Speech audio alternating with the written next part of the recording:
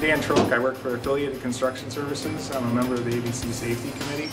Uh, the whole committee here is today is checking out the new simulators.